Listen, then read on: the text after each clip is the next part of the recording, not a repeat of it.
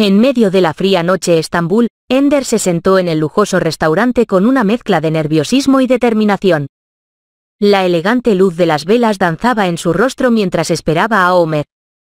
El aire estaba cargado de un misterio inquietante, pues cada vez estaba más convencida de las sospechas que rondaban en su mente. El sonido de tacones resonó en el suelo pulido del restaurante, y Ender levantó la mirada para encontrarse con la figura imponente de Homer. Sus ojos oscuros brillaban con una mezcla de sorpresa y curiosidad al verla allí, sola en una mesa preparada para dos. ¿Ender? Homer se acercó con paso seguro, su voz suave resonando en el aire cargado de tensión. Efectivamente, Homer. He querido hablar contigo sobre algo importante, dijo Ender, su voz firme pero contenida. A medida que la conversación avanzaba, Ender dejó caer hábilmente el anzuelo, mencionando de pasada la supuesta relación entre Feisan y Homer. Los ojos de Homer se entrecerraron ligeramente, su expresión cambiando de sorpresa a cautela en un instante. La tensión en el aire era palpable cuando Homer intentaba explicar la naturaleza de su relación con Feisan, pero las palabras parecían insuficientes para disipar las dudas que Ender albergaba en su mente.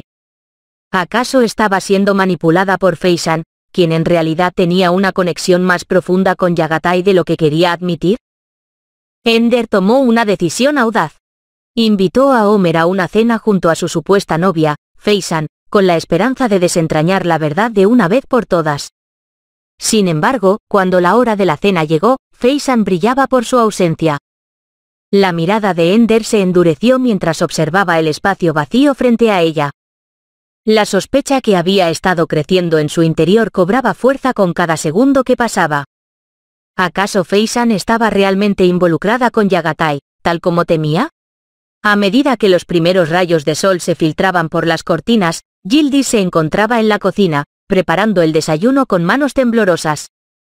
La noche anterior había sido una de las más largas y dolorosas que recordaba. La atmósfera en la mansión estaba cargada de tensión, y el eco de las duras palabras de Yagatai aún resonaba en su mente. Yagatai, por su parte, había pasado la noche fuera de casa, envuelto en una mezcla de ira y desilusión. La idea de que Yildiz pudiera haberlo traicionado con Feisan lo había atormentado, nublando su juicio y ensombreciendo su corazón con un profundo resentimiento hacia la mujer que alguna vez había amado. Al amanecer, Gildy se acercó a la puerta entreabierta de la habitación de Yagatai, su corazón latiendo con una mezcla de esperanza y aprensión. Yagatai, llamó con voz suave, buscando una reconciliación que parecía cada vez más esquiva. Sin embargo, las palabras de Gildis se perdieron en el vacío cuando Yagatai, con la mirada fría y distante, le recordó que debía amanecer fuera de casa como consecuencia de sus acciones. Aunque las palabras de Yagatai eran duras, carecían del peso del amor y la preocupación que solían caracterizar su relación. En su interior, Gildis luchaba con el peso abrumador del arrepentimiento. Había cometido un error al dejarse llevar por la ira y la desconfianza, y ahora estaba pagando el precio en forma de la indiferencia helada de su esposo. Sin embargo, a pesar de su aparente frialdad, Yagatai seguía siendo el mismo hombre que Gildis había amado durante años. El sol comenzaba a declinar en el horizonte mientras Gildy se preparaba para hacer una última tentativa por salvar su matrimonio. Con el corazón lleno de esperanza y nerviosismo, marcó el número de teléfono de su vecina, Kunru, con la determinación de que su presencia en la cena podría ayudar a calmar las aguas turbulentas que habían surgido entre ella y Yagatai. Kunru, ajena a los planes de reconciliación de Yildiz, respondió la llamada justo en el momento en que estaba acompañada de un hombre misterioso. Sin saberlo, la casualidad había revelado una verdad que cambiaría para siempre la dinámica entre ellas. El corazón de Yildiz latía con expectación mientras escuchaba la voz de Kunru al otro lado de la línea. Sin embargo, su emoción se desvaneció rápidamente cuando una sensación de traición y decepción comenzó a arraigarse en su interior. El hombre misterioso que estaba con Kunru no era otro que Yagatai, su esposo, quien había estado fingiendo ser alguien más para engañar tanto a Yildiz como a Feisan, creando una red de engaños y manipulaciones que las había mantenido a ambas en la oscuridad. La verdad se desplegaba ante los ojos de Yildiz con una claridad escalofriante. La verdadera amante de Yagatai no era Feisan, como había creído durante tanto tiempo, sino su propia vecina, Kunru. Había sido traicionada no solo por su esposo, sino también por la mujer en quien había confiado y considerado su amiga. La noticia llegó a Dogan como un golpe inesperado en medio de su viaje de negocios en el extranjero. Los hombres de confianza que trabajaban para él en Estambul le informaron con preocupación sobre los rumores que circulaban en torno a su hija, Kunru. Según ellos, Kunru estaba siendo vista con un hombre misterioso, y las sospechas apuntaban a que este hombre podría estar casado. Dogan, sintiendo una mezcla de ansiedad y determinación, sabía que tenía que regresar a casa de inmediato para enfrentar esta situación. Aunque había estado fuera por motivos de trabajo, el bienestar de su hija era su prioridad absoluta, y no podía permitir que algo así pasara desapercibido. Con el corazón pesado por la preocupación y la incertidumbre, Dogan comenzó a hacer los arreglos necesarios para regresar a Estambul lo antes posible. Cada minuto que pasaba le parecía una eternidad mientras la inquietud crecía dentro de él, alimentada por la falta de información concreta sobre lo que estaba sucediendo con Kunru. Mientras Gildis observaba desde la distancia, una sombra de preocupación se dibujó en su rostro al presenciar el incidente en la casa de su vecina, Kunru. El tumulto de voces y gestos exasperados sugirió que algo no estaba bien, y Gildy sintió un impulso instintivo de intervenir. Sin pensarlo dos veces, se acercó a Kunru con una expresión compasiva, ofreciéndole su apoyo en medio de la confusión y el caos.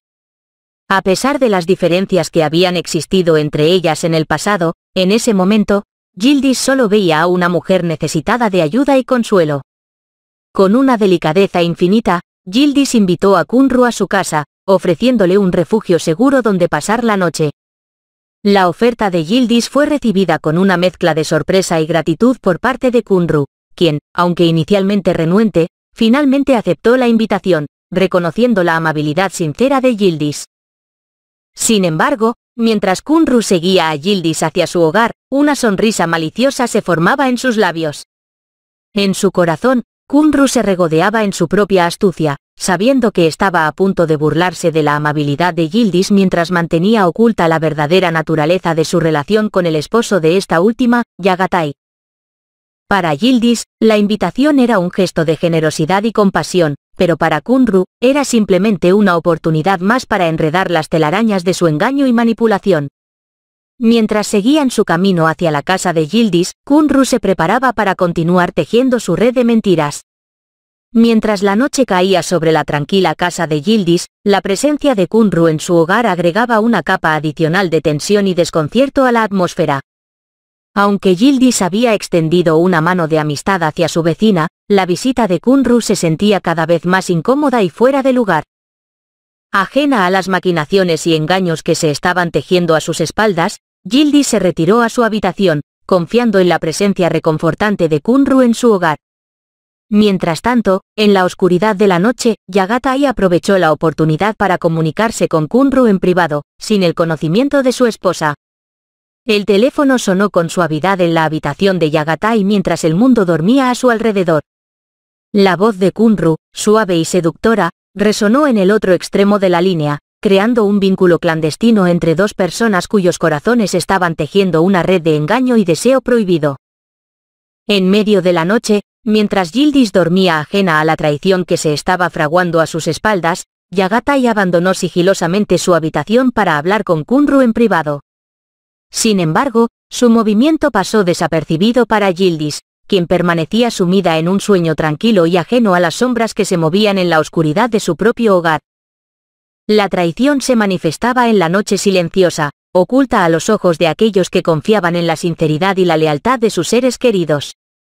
Mientras Yagatai y Kunru se sumergían en una conversación cargada de complicidad y coqueteo, el velo de la mentira se extendía sobre la casa de Gildis, envolviendo a todos sus habitantes en una red de engaño y traición que amenazaba con desgarrar el tejido mismo de sus vidas.